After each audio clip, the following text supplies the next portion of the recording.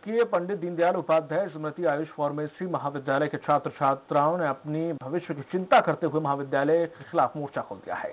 दरअसल पाँचवें सेमेस्टर पढ़ाई करने के बाद भी अब दो माह में दो सेमेस्टर की परीक्षा हुई और महाविद्यालय में न तो शिक्षक और न ही कुछ व्यवस्था है।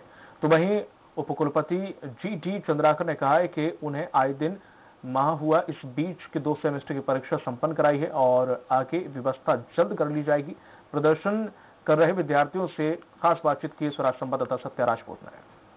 हम राजधानी रायपुर के घड़ी चौक में स्थित है। यहाँ पे आप देख सकते हैं ये दृश्य कि यहाँ पे ये मेडिकल के वो बच्चे हैं जो अपने अधिकार के लिए यूनिवर्सिटी प्रशासन के खिलाफ यहाँ पे मोर्चे पे खड़े हुए हैं। कड़कती धूप है।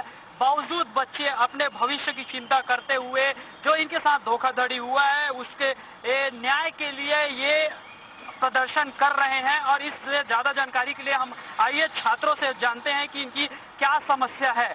आप अभी ये पूरे छात्र सड़क पे उतर आए हैं। क्या कारण है? ये आयुष विश्वविद्यालय के फार्मेसी कोर्स के बच्चे हैं।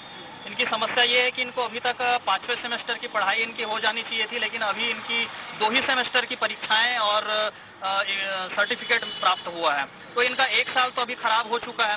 साथ में इनके दो साल की बहुत सारी फ़ीस जो है यूनिवर्सिटी प्रशासन ने लिया हुआ है।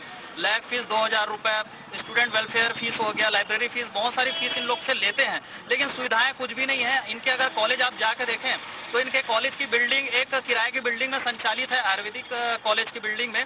और इनके पास सिर्फ़ दो ही टीचर अवेलेबल हैं, एक प्रिंसिपल है और एक अन्य असिस्टेंट प्रोफेसर दोनों संविदा आधार पर इन लोगों को पढ़ा रहे हैं। तो अभी आपने सुना उन छात्रों को और मैं कैमरामैन से कहूँगा ये दृश्य इनको दिखाएँ कि ये अपने हक के लिए किस तरह से ये सड़क पे उतर आए हैं, क्योंकि इनके साथ धोखा हुआ है। इनका कहना है कि बिना मान्यता का एडमिशन ले लिया गया है। इनके तीन साल बर्बाद हो चुके हैं जिसमें अभी दो साल का एग्ज़ाम हुआ है। लेती है सरकार कोई ठोस कदम नहीं उठाती है तो इनके लिए जिम्मेदार आखिर कौन होगा?